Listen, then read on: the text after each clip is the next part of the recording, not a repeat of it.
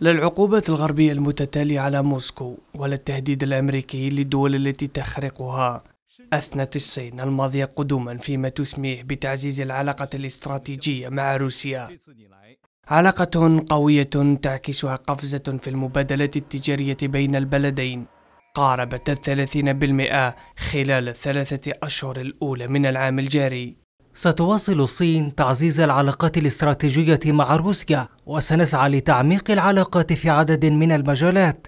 إن قفزة ما يقرب من 30% في التجارة بين الدولتين خلال الأشهر الثلاثة الأولى من عام 2022 تظهر المرونة الكبيرة والديناميكية الداخلية للتعاون الثنائي.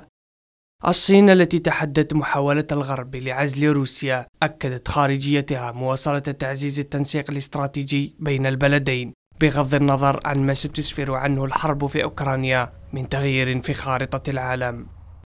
بغض النظر عن كيفية تغير المشهد الدولي ستواصل الصين تعزيز التنسيق الاستراتيجي مع روسيا من أجل التعاون المربح للجانبين وحماية المصالح المشتركة بشكل مشترك وتعزيز بناء نوع جديد من العلاقات الدولية ومجتمع له مستقبل مشترك للبشرية. وتعتزم بيجين وموسكو رفع قيمة مبادلتهما التجارية بنهاية السنة الجارية إلى 200 مليار دولار بالتزامن مع مساعي تقويمها بالعملتين المحليتين.